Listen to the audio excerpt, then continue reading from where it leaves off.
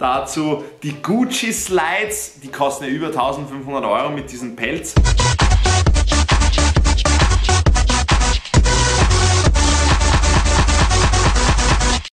Leute, was geht ab? Maximilian am Start und ich begrüße euch zu einem neuen Video auf meinem Kanal. Liebe Leute, meine neue Modemarke, sechs bis sieben Wochen wird es vermutlich dauern. Es gab da Probleme, weil die Produktion nicht so funktioniert hat, wie ich mir das vorgestellt habe. Und da habe ich mir gedacht, na Max, es geht um dein persönliches Lebensglück und wie du das erreichst. Deswegen verzögert sich das Ganze. Also wird es vermutlich so sein, dass es Ende November erster Drop meiner neuen Modemarke M&M ist. Aber liebe Leute, wir wollen gar nicht mehr länger quatschen. Ihr seid da wegen einer weiteren Ausgabe von Richtig kombiniert. Liebe Leute, wer es noch nicht gesehen hat, wir haben uns ja letztens Raf Kamora vorgenommen. Warum? Geht's, Bruder? Alles okay? Ich habe mir gedacht und auch ihr wart der festen Überzeugung nach der Abstimmung, dass wir in Österreich bleiben und zu einem der größten Cloud-Rapper überhaupt gehen. Wir kommen zu Young Horn. Die Sache ist halt folgende. Bei Raf Kamora ist es jetzt nicht unbedingt schwierig, sich den Style anzusehen, weil er so ziemlich immer das gleiche anhat. Seine Fußballtrikots, seine Cap und seine weißen Nikes, das ist bei Young Horn eine komplett andere Geschichte. Also hier einen Leitfaden oder ein paar gewisse Merkmale auszumachen, die Young Horn Style beschreiben, ist absolut unmöglich. Wir werden es trotzdem versuchen. Wir werden jetzt gleich mal in seinen Instagram-Account hineinsehen. Zack, hier haben wir ihn schon. Young Huren, Diamant Baby. Wir haben hier einige Fotos, die wir uns ansehen, aber anhand dieser werden wir niemals so einen fixen Standpunkt festmachen können. Was wir sagen können ist, Young Huren ist auf jeden Fall jemand, der sich mit Mode beschäftigt. Auch wenn es in der Vergangenheit und auch heute bei seinen Postings immer wieder so rüberkommt, als wäre ihm scheißegal, was er anzieht, ist das absolut nicht so. Also der hat schon Ahnung, der hat auch, glaube ich, sogar mit Prada irgendeine Kooperation am Laufen. Prada feiert er ja extrem, da war er extra in Tokio oder so eingeladen. Ja, schaut schon auf Marken. Goyard kommt immer wieder vor, also den interessiert schon, was er anzieht. Aber das Ding ist halt, er zieht sich nicht nur an, sondern er verkleidet sich auch. Er macht so irgendwo das Mittelding zwischen Anziehen und Verkleiden. Und ich glaube so ein bisschen, dass der das mit dem Anziehen so handhabt, wie ich mit meinem Schnurrbart.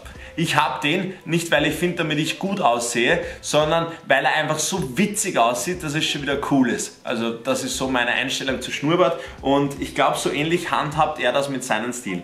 Ich feiere das. Den würde ich mir sogar selber kaufen. Weil er auf jeden Fall polarisiert durch die Art und Weise. Also wir haben zum Beispiel hier ein Bild, in dem er, ich würde jetzt nicht sagen, dass das ein Frauenmantel ist, aber so ein, ein Mantel, den man aus dieser spießbürgerlichen Jägerszene kennt. So ein grüner Mantel, darunter trägt er so eine Fleece-Weste in weiß gehalten und dazu noch eine auf die Farbe abgepasste Damentasche. Auch da denkt man sich wieder, was macht er mit einer Damentasche? Was hat er an? Das fragt man sich bei sehr vielen Bildern. Hier hat er einen Hut auf. Ich sehe jetzt nicht von welcher Marke. Ich glaube, die Brille, die er trägt, ist von Prada. Bin ich mir aber auch nicht zu 100% sicher. Hier haben wir eine Louis Vuitton-Tasche, die sticht einem gleich mal ins Auge. Dazu trägt er ein weißes Shirt von Ralph Simmons, eine weiße Jean dazu, vielleicht eine Levi's, kann ich jetzt noch nicht genau sagen vermutlich eine 501er. Also er hat prinzipiell nicht allzu viele Outfit-Fotos. Hier haben wir eins, da trägt er ja so eine Korthose, eine braune, die er gut an die Matratze farblich abgestimmt hat. Feiere ich, würde ich genauso tragen. Übrigens, diese ganzen Insider kennt Young Horn auch, das lässt er sich immer wieder anmerken.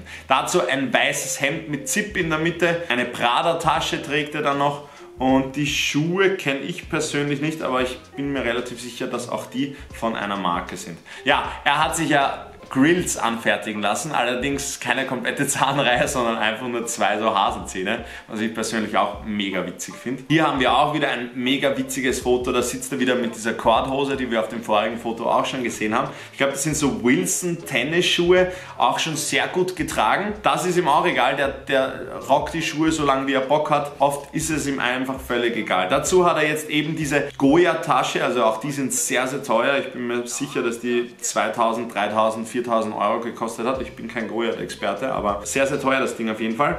Und diesen was kann das sein? Was kann das für eine Marke sein? Kommt mir bekannt vor mit diesen Croissants. Vermute ich irgendwas Französisches. Also kenne ich persönlich jetzt nicht die Marke. Schreibt mir es aber in die Kommentare, wenn ihr es erkannt habt. Ja, was trägt er hier? Hier trägt er wieder diese Schuhe von vorher, die ich persönlich nicht kenne.